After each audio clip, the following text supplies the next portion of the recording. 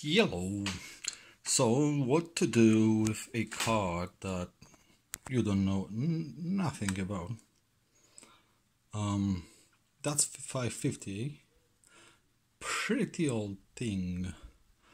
Um, yeah, so again, video was sponsored by Arcadia Express in Guernsey. Thank you very much. So what I have is a, is a very good card. Um, that unfortunately, this happened, and also this happened to it. That's not good. Uh, not only aesthetically, we have one good fan, uh, but also vibrations and not as good as cooling, and also it's pretty loud. Probably I never even turn it on yet but I've measured it and it's fine. So how do we approach a card like that? So first of all, uh, we do not connect that to our PC. No. Why? Because it can cause fire, burn your house down, and curse your family to the fourth generation. So, uh, what we want is to check these pins, like card is facing us here, right? That's the top of the card. So we need to check these pins. The first three from the left, of course, uh, those are 12 volt. And uh, the fourth one from the right is, there's one missing by the way, uh, and more missing because they're not needed here. Fourth one from the right is 3.3 volt and the next one to it is ground. So you measure that you take your multimeter measure them for shorts uh, that's one thing. Secondly uh, when done with that uh, any PCIe 12 volt connectors also must be checked. One row is 12 volts one row is ground. Uh, there are exceptions. Uh, some grounds uh, may not be connected like the on the six pin one um, the middle ground cannot be connected because it's not needed in the specification although most cards does have it soldered on uh, just because. And there is also a voltage voltage sensing pin but we don't care about it now. For now we want to know if sh any shorts are there between the 12 volts pin and the ground pins. So that's where you start. As by magic, nothing happened. Uh, but we have a voltage meter here. Sorry, it's a potato one B&Q. See, uh, it's all I have, unfortunately. Uh, it's good enough for such such things.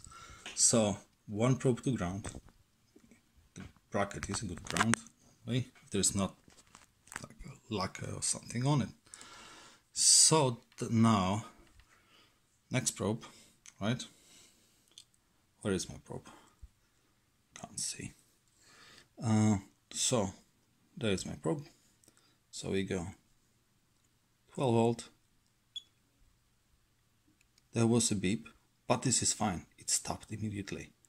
Capacitor charged, and that's it. No short. Yeah. It's fine. That's it that's uh, resistance. So now let's measure 3.3 oh, sorry. There is 3.3 and nothing. That's drop. Uh, it's fine and the next pin is ground see? So if I go to the ground pin beeps short ground to ground which is which is of course okay. So no short here no short here. We golden. Now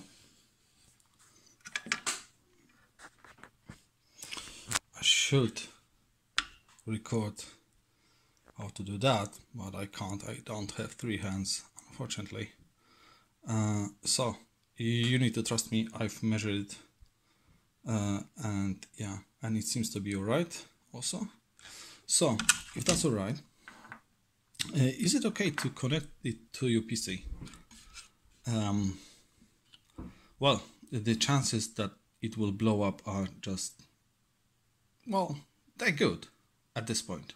Because uh, definitely there is no short directly to your to the to your computer, so that's all right. Uh, it's still not enough to know if the card is good. Of course, we need to take it apart. Uh, but the first check, the check that you always can do without even touching a screwdriver, was that. Okay, so the magic is I can probably probe that. See? You can't see. That's just stupid. No beeps. No beeps. It's fine. Um, I was taking it apart because I'm after the fan for the other graphic card and I spotted this. This is a original warranty sticker and it says it's 2 gigabyte version so it's the fancy one. Um, I don't know what type of memory that is. We'll see later. Uh, but then this signs in ancient tongue. I don't know what that means. Probably means something to someone. Uh, Alright, let's continue then. And this is how it looks like completely naked. Pornographic. There is magic, of course. Magic. Um, what shall we do now? Um, nothing, I I guess. Um, I'm after the fan, so we will continue on it maybe uh, some other day.